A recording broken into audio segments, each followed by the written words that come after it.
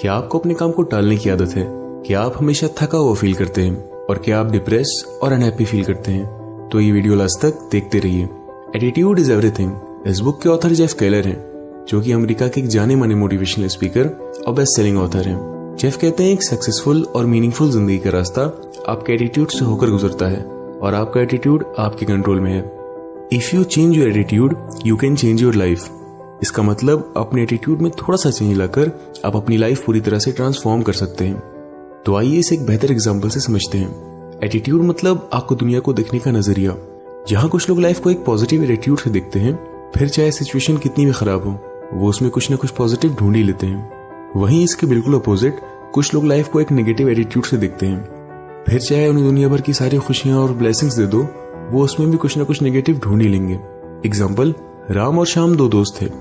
Ram life को एक positive attitude से देखता था, वहीं श्याम नेगेटिविटी से भरा हुआ था। जहाँ कोई भी काम करने से पहले राम कहता था आई कैन मैं ये कर सकता हूँ। वहीं श्याम आई कांट मैं ये नहीं कर सकता। जहाँ राम सॉल्यूशन पे फोकस करता था, वहीं शाम प्रॉब्लम में ही उलझा रह जाता था। जहाँ राम दूसरों में अच्छाई दिखता था, वहीं शाम बुराई। जहाँ राम ऊपर वाले का शुक्रिया करता नहीं, थकता था, वहीं शाम शिकायत करता। दोस्तों, मैं आपको ऐसे और भी बहुत एग्ज़ाम्पल दे सकता हूँ। लेकिन मुझे उम्मीद है आपको एक पॉजिटिव और निगेटिव एटीट्यूड में डिफरेंस पता लग गया होगा। अब इससे पहले कि हम इस वीडियो में आगे बढ़े और इस बुक के सभी की आइडियाज़ जाने, मैं आपको ऑथर की एक इंस्पायरिंग स्टोरी सुनाना चाहता हूँ। The night that change my life Jeff बचपन से ही लॉयर बनना चाहते थे और 1980 में उन्होंने लॉ स्कूल से ग्रेजुएशन की डिग्री हासिल कर ली। सब कुछ उनके प्लान के अकॉर्डिंग हो रहा था। लॉ स्कूल में उन्हें अपनी क्लासमेट डोलोरेस से प्यार हो गया और उन्होंने उससे शादी कर ली। जेफ को लग रहा था कि वो एक सक्सेसफुल और मीनिंगफुल ज़िंदगी के रास्ते पे है। लेकिन लॉ प्रैक्टिस करने के कुछ साल बाद उन्हें ये रियलाइज़ हुआ ये करियर उतना भी अच्छा नहीं जितना उन्होंने सोचा था। वो अपनी वर्क लाइफ से बहुत डिससेटिस्फाई रहने लगे। उन्हें अपनी लाइफ मीनिंगलेस लगने लगी थी। और वो बहुत डिप्रेस रहते थे। हालाँकि वो बस 25 साल के थे, लेकिन डिप्रेशन की वजह से वो 40 के लगने लगे थे। और जब उनकी एज 30 साल हुई तो उन्हें लगा, बस, मेरी ज़िंदगी में इस न खत्म होने वाली परेशानी और अनहैप्पीनेस के सिवा कुछ तो होगा। एक रात जब जेफ ये सब बैठ के सोच रहे थे तभी उन्होंने टीवी पे एक ऐड देखा mental bank mental bank basically एक होम स्टडी प्रोग्राम था, जिसमें ये बताया गया था कि हमें लाइफ में जो कुछ भी मिलता है, वो और कुछ नहीं, बल्कि हमारे सबकॉन्शियस बिलीव होते हैं। जैसे ही जेफ ने टीवी पे ऐड देखा, उन्हें लगा बस यही है जो मेरी मदद कर सकता है। उन्होंने फ़ौरन अपना क्रेडिट कार्ड निकाला और ये प्रोग्राम ऑर्डर कर दिया। और ये रात जेफ की ज़िंदगी में टर्निंग पॉइंट साबित हुई। कुछ दिन बाद जब मेंटल बैंक उनके घर पर डिलीवर हुआ तब जेफ ये सीखने के लिए बहुत एक्साइटेड थे कि कैसे हमारे थॉट्स हमारी क्वालिटी ऑफ़ लाइफ डिटरमाइन करते हैं। क्योंकि इससे पहले उन्होंने ऐसा कुछ कभी नहीं सुना था। बदकिस्मती से ये सब हमारे एजुकेशन सिस्टम में नहीं सिखाया जाता। इसके बाद जेफ ने कभी पीछे मुड़ के नहीं देखा।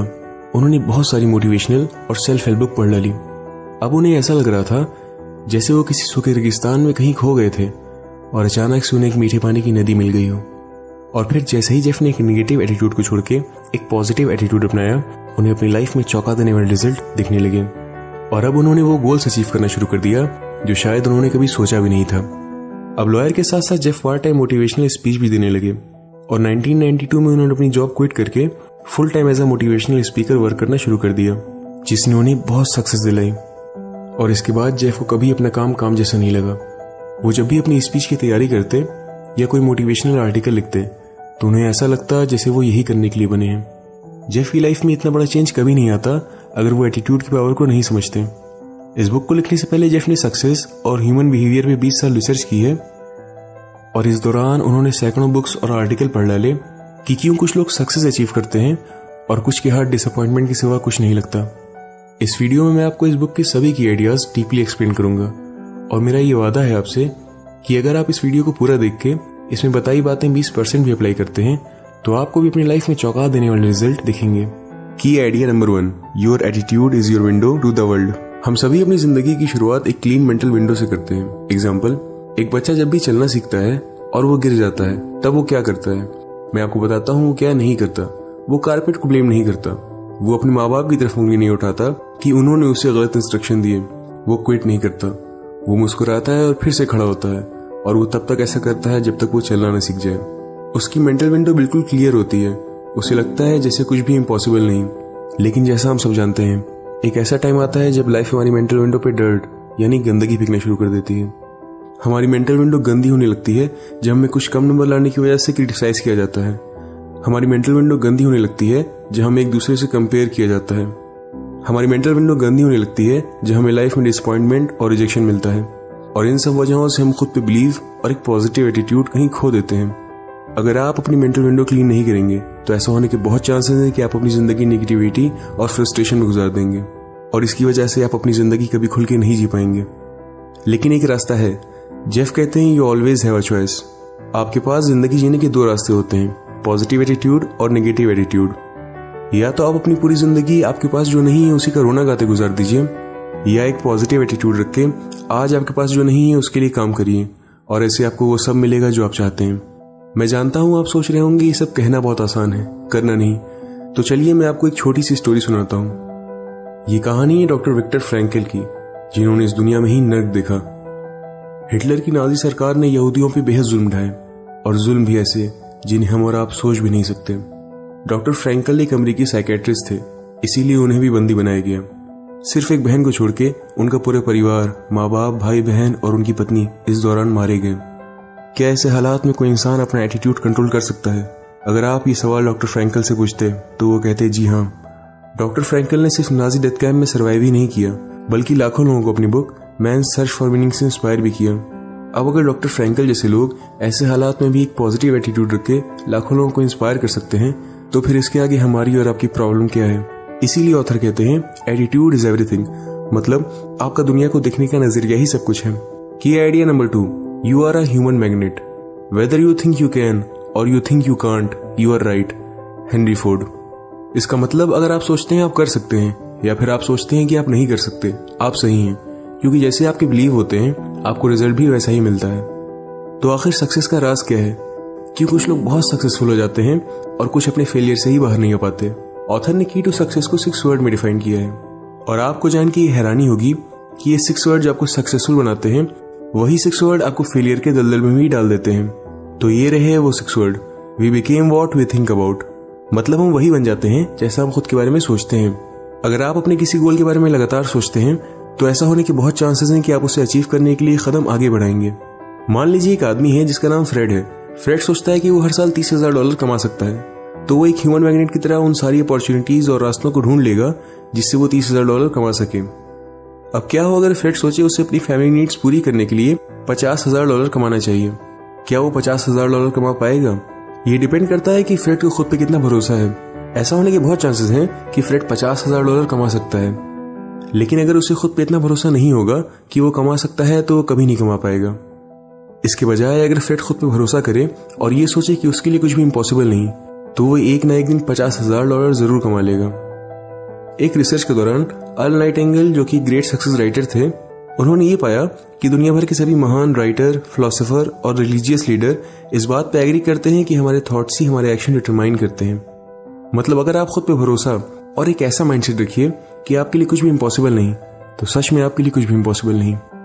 एटीट्यूड वर्सेस एक्शन मैंने अभी तक इस वीडियो में एटीट्यूड थिंकिंग और बिलीफ के बारे में बहुत बातें की हैं, और आप कहीं ना कहीं ज़रूर सोच रहे होंगे कि भाई एक्शन कहाँ है। क्योंकि जब तक हम एक्शन नहीं लेंगे, हम अपने कोई भी गोल अचीव नहीं कर सकते। लेकिन आपको ये बात याद रखनी होगी कि हमारे थॉट्स ही हमारे एक्शन डिटरमाइन करते हैं। मतलब अगर आप अपने सफ़र की शुरुआत ही एक निगेटिव एटीट्यूड एक निगेटिव थिंकिंग से करेंगे तो फिर आप बस वहीं तक आगे बढ़ पाएँगे, जहाँ तक आपके रास्ते में कोई फेलियर नहीं आता। इसके बजाय अगर आप अपनी शुरुआत एक पॉजिटिव एटीट्यूड एक पॉजिटिव थिंकिंग से करेंगे तो फिर आपके रास्ते में कितने भी फेलियर आए, वो आपका कुछ बिगाड़ नहीं सकते।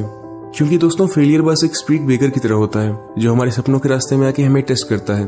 और अगर हमारा एक पॉजिटिव एटीट्यूड नहीं होगा तो यही स्पीड ब्रेकर हमें पहाड़ जैसा लगने लगेगा, और हम इसे क्रॉस करने के बजाय वहीं क्विट कर देंगे। इसीलिए जब भी अपनी लाइफ में आप कुछ नया स्टार्ट करिए तो ये बात याद रखिएगा कि फेलियर बस हमें टेस्ट करने के लिए और ये देखने के लिए आता है कि हमें अपने सपनों को पाने की कितनी चाहत है। तो आखिर हम अपनी थिंकिंग कैसे बदल सकते हैं, जिससे हमारी लाइफ मेंटली फिजिकली और फाइनेंशियली पीसफुल हो? ऑथर ने इन दो सिंपल स्टेप में हमें बताया है कि हम अपनी थिंकिंग कैसे और भी ज़्यादा पॉजिटिव करके वो सब हासिल कर सकते हैं जो हम चाहते हैं। स्टेप वन रोज सुबह पंद्रह से तीस मिनट कोई पॉजिटिव आर्टिकल या बुक पढ़ना शुरू करिए। फिर चाहे वो सक्सेसफुल लोगों की बायोग्राफीज हो सेल्फ हेल्प बुक हो या कोई स्पिरिचुअल बुक ये आप पे डिपेंड करता है कि आप क्या पढ़ना चाहते हैं। और इसका फ़ायदा ये होगा कि जब आप अपने दिन की शुरुआत एक सही माइंडसेट से करेंगे तो फिर आपका पूरा दिन पॉजिटिविटी से भरा हुआ जाएगा। स्टेप टू रोज कोई मोटिवेशनल वीडियो या ऑडियो प्रोग्राम सुनना शुरू करिए। अब यहाँ मोटिवेशन से मेरा मतलब ये नहीं है कि आप दिन भर कोई भी वीडियो उठा के लगे रहिए। जैसे मैं आपको खुद का एग्ज़ाम्पल देता हूँ। मैं रोज 10 से 15 मिनट कोई ऐसी वीडियो या पॉडकास्ट सुनता हूँ, जिससे मेरी अंडरस्टैंडिंग बढ़े। और ऑथर भी यही कहते हैं, हम जब भी कोई मैसेज अपने माइंड तक बार बार पहुंचाते हैं तो हमारी थिंकिंग और माइंडसेट भी वैसा ही हो जाता है। तो दोस्तों, ये थे वो दो स्टेप जो आपकी मेंटल हेल्थ के लिए बहुत ज़रूरी है। आगे बढ़ने से पहले मैं ये बात क्लियर कर देना चाहता हूँ कि पॉजिटिव थिंकिंग मतलब ये नहीं है कि आपके सारे सपने रातों रात पूरे हो जाएँगे। सक्सेसफुल होने के लिए आपको मेहनत तो करनी ही होगी, साथ ही साथ सब्र भी रखना होगा। और दूसरी बात पॉजिटिव थिंकिंग मतलब ये भी नहीं है कि आपके रास्ते में कोई परेशानियाँ नहीं आएँगी। मेरा यकीन मानिए, आपका सफ़र आसान नहीं होगा। लेकिन अगर आपको खुद पे भरोसा और अपने सपनों को पाने की चाहत होगी तो मेरे भाई, इस दुनिया की कोई पावर तुम्हें रोक नहीं सकती। Key idea number three turn your problem into opportunities हमारी लाइफ में जब भी प्रॉब्लम या सेटबैक्स आते हैं तब हमारा रिएक्शन कैसा होता है? हम सभी की तरह कंप्लेन करते हैं। ये मेरे साथ ही क्यों हुआ? अब मैं क्या करूँगा? और ये एक नॉर्मल सी बात है, जो आपने खुद से कभी ना कभी ज़रूर बोली होगी। लेकिन ऑथर कहते हैं you always have a choice या तो आप प्रॉब्लम में ही उलझे रह जाइए और इसका बस निगेटिव साइड ही देखिए। या फिर आप इस बात का फ़ायदा उठाइए और ये देखिए कि ये प्रॉब्लम आपको क्या सिखाना चाह रही है। एग्ज़ाम्पल ऑथर कभी पर्सनल डेवलपमेंट या मोटिवेशनल स्पीकर बनने में इंटरेस्टेड नहीं थे, जब तक उन्हें अपने लॉ करियर में डिससेटिस्फेक्शन नहीं मिला। जेफ कहते हैं, मुझे अब रियलाइज़ होता है कि अगर मैं एज अ लॉयर फेल नहीं होता तो शायद मैं वो कभी नहीं कर पाता जिसके लिए मैं बना था।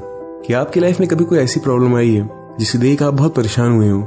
लेकिन कुछ टाइम बाद आपको ये रियलाइज़ हुआ हो कि वो प्रॉब्लम नहीं, बल्कि एक ब्लेसिंग थी। एग्ज़ाम्पल वॉल्ट डिज्नी जो डिज्नी कंपनी के फाउंडर और मिक्की माउस क्रिएटर थे, वो पहले एक न्यूज़पेपर में एज अ कार्टूनिस्ट काम करते थे। और उन्हें वहाँ से ये कह के निकाल दिया गया कि उनमें लैक ऑफ़ इमेजिनेशन और आइडियाज़ की कमी है। अब अगर वॉल्ट डिज्नी को उस दिन न्यूज़पेपर कंपनी से नहीं निकाला जाता तो शायद वो 22 ऑस्कर विनर कार्टून सीरीज़ कभी नहीं बना पाते। तो दोस्तों, अब आपकी लाइफ में जब भी कोई प्रॉब्लम आए तो उस वक्त निगेटिविटी के जाल में फंसने के बजाय, आप ये देखिए कि आप उसे कैसे ओवरकम कर सकते हैं, उससे क्या सीख सकते हैं। और अगर आपने अपना एक ऐसा एटीट्यूड बना लिया तो फिर आपको सक्सेस अचीव करने से कोई रोक नहीं सकता। तो दोस्तों, ये था एटीट्यूड इज़ एवरीथिंग का पार्ट वन मुझे उम्मीद है ये वीडियो आपको पसंद आई होगी। और अगर आप पार्ट टू मिस नहीं करना चाहते तो इस वीडियो को लाइक करके सब्सक्राइब करना मत भूलिएगा।